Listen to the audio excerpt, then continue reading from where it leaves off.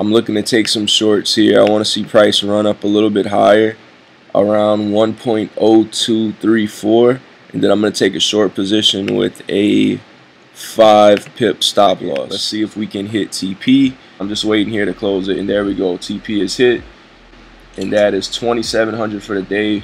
I'll get the screenshot now and I'll post it. And this was overall a clean trade.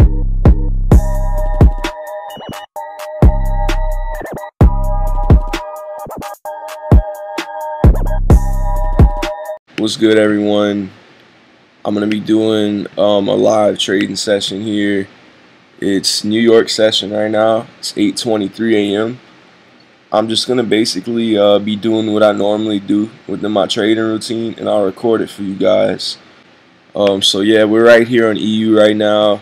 I'm looking to take some shorts here. I want to see price run up a little bit higher, around 1.0234 and then I'm going to take a short position with a 5 pip stop loss. It's going to be a little bit over 5 pips with the spread.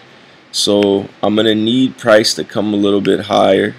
You see that right now we're kind of pushing up a little bit. Um, reacting from this little candle right here.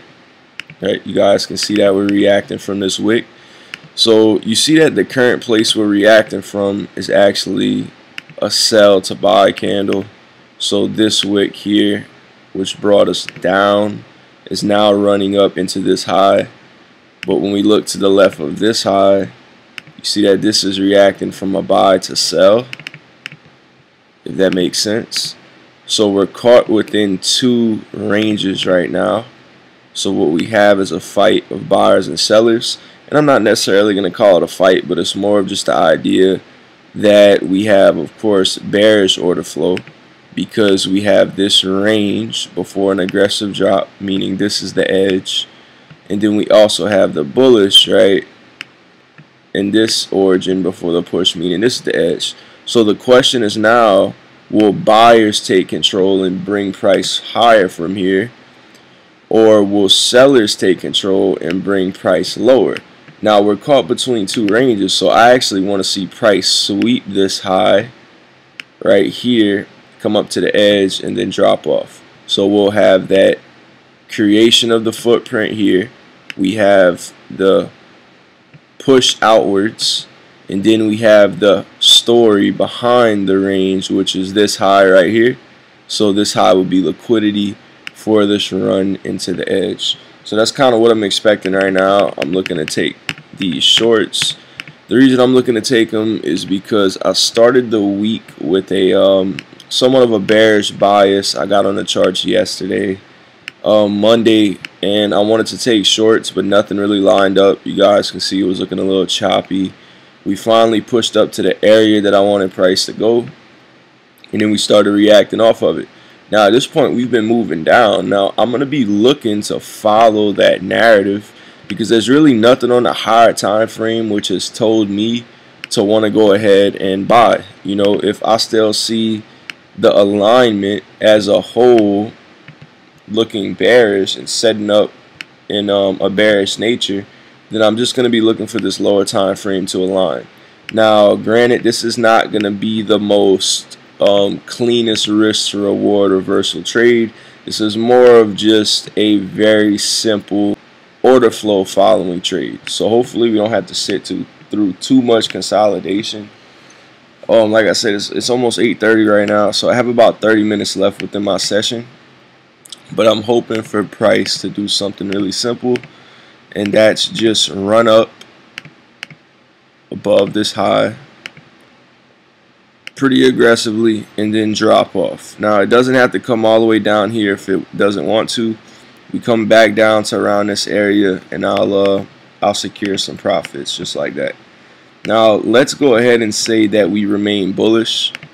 If we remain bullish through my stop loss, well what's next, right? Let me go to the 15 minute. You guys can see we have this exchange of order flow right here.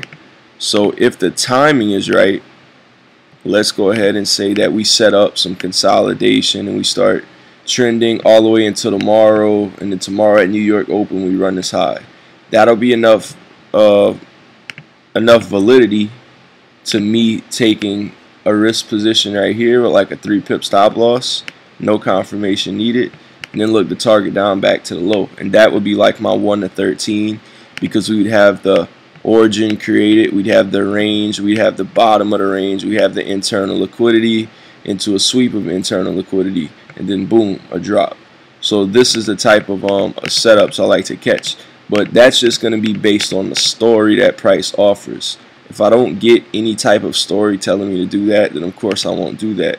It's all about not predicting or anticipating this to happen, but more of being able to read the market um, through like a neutral standpoint and react in a in a strategic way. You know, you don't want to fall for anything in this game. You want to know exactly what you're looking for. You got to know how to play it strategically. If not, the market will have you changing your mind every 10 minutes. You you gotta you gotta know how to how to maneuver through this and think in a very strategic way. So we have price pushing up a little bit right now. I'm gonna go ahead and fast forward this and we'll see what things are looking like in a few minutes. I have a limit order set right now, so I'm gonna fast forward this. We'll see if price wants to push up. If it comes up just a little bit, I want you guys to keep in mind if it comes up a little bit, it's possible that this edge gives us a little reaction. Hopefully this reaction stacks those highs, it becomes liquidity, we come up and we drop off. So that's kind of my anticipation. But let's go ahead and see, man. Let's see if we push up to here. I'm going to have my limit order ready. We're going to go for a 1 to 5. We're going to go for a, a solid pay and trade. And I'm willing to accept the risk of this setup because it looks good. It follows my narrative. I'm looking to follow this bearish order flow. I know that this is a location I can win from.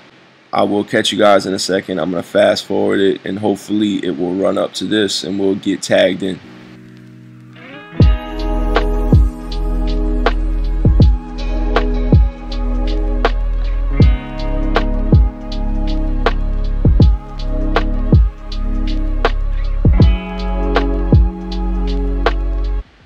Okay, so as you can see, we're just tagged in. Um, we're already seeing a little bit of reaction, which is good. At this point, I want to go ahead and see price come down the range a little bit.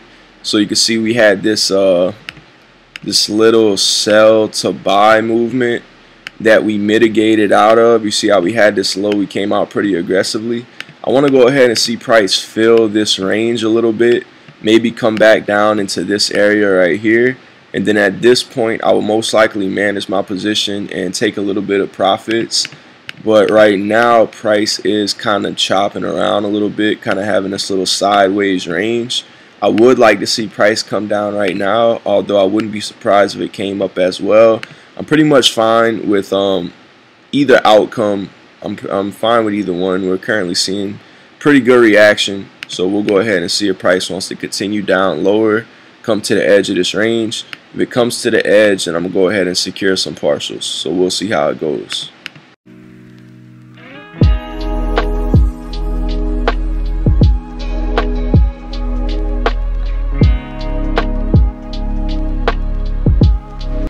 Okay guys, so as you can see, we're very close to the area where I'm going to be taking partials. We are reacting a little bit, but I want to keep in mind why I'm seeing this reaction and why I'm seeing some resistance from this area. So you see we have this wick down into this here. So this is that sell and the buy. So like I was saying earlier, I was kind of expecting a little bit of a reaction from this point. So I'm currently running around 1400 in profit, but I want to see price come to the orange line and I'm going to secure about a third of this, right? So I have 15 lots running here on EU.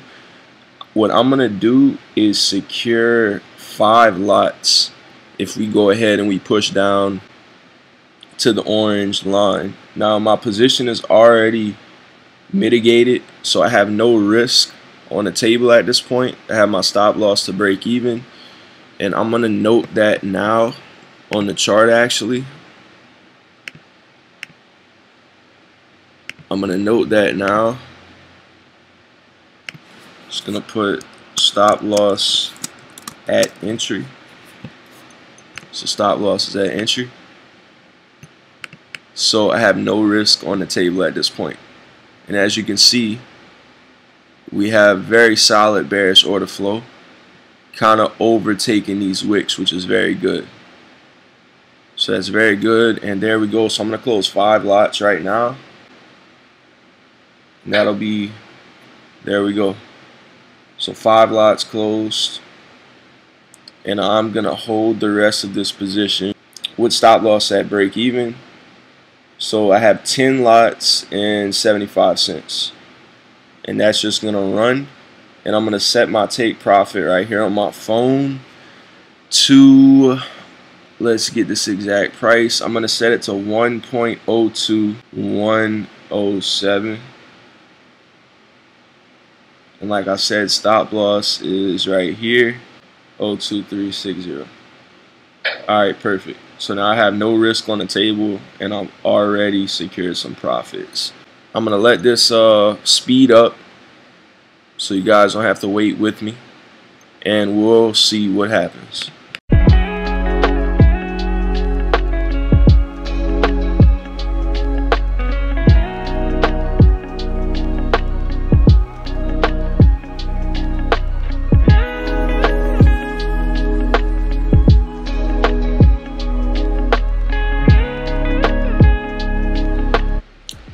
Alright guys, I'm back and you can see right now that we have a pretty solid bearish candle kind of overtaking all of this little consolidation. Definitely something I like to see. Um, when I'm taking these trades, man, we have the same characteristics happen almost, I'd say 80% of the time. Um, you'll, you'll definitely notice this like when you find the type of trading that suits you, when you actually monitor the markets you'll see that things happen in a very similar way uh, very often. So we had price slow down at the buy to sell, kind of had some interaction, and now we are um, we're sweeping down pretty heavy, going very close to TP, and we should hit it fairly soon. So I'm running about 2,000 in profit right now, and I have uh, 10 lots on the table. And earlier I closed 480. So I'm gonna get the percentage and all that uh, for you guys in a second. Let's see if we can hit TP. It's going down very nicely. Should not take too much longer. Very close to TP. I'm just waiting here to close it. And there we go. TP is hit. And that is 2700 for the day. I'll get the screenshot now and I'll post it. And this was overall a clean trade. You know, um, I had my bias. I set my intentions beforehand. I understood what I was looking for. I knew exactly what I wanted to see and if price didn't show what I wanted to see, then I wouldn't have got involved. And it's as simple as that. You need to know exactly what you're looking for. So this was it for today. Um, this was my second day back to trading. Feels good to be back. Like I said, I was handling a lot of business aspects of things. But I'm kind of getting back into the groove of everything, man. And it's all muscle memory. It's all the same that it was when I took the break. And um, it's good to be back, man. So I hope y'all enjoyed this. I hope y'all learned something new. And I hope this kind of, you know, gave y'all some confidence to go out there, you know, maybe tomorrow morning and, you know, get get after it during New York session. So this is New York. Like I said, I got on the charts at like 8 o'clock. It's 8.50 and I'm already done. So I hope you guys enjoyed this video. It's been BG. I will see y'all in the next one. I'm out. Salute.